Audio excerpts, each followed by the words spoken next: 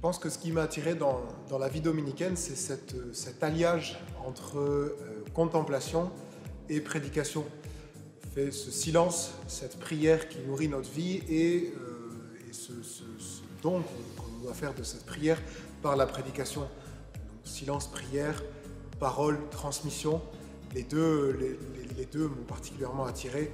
Le fait de recevoir la parole de Dieu, de la méditer dans, cette prière et ensuite de devoir la transmettre par la prédication elle-même et, euh, les sacrements que l'on doit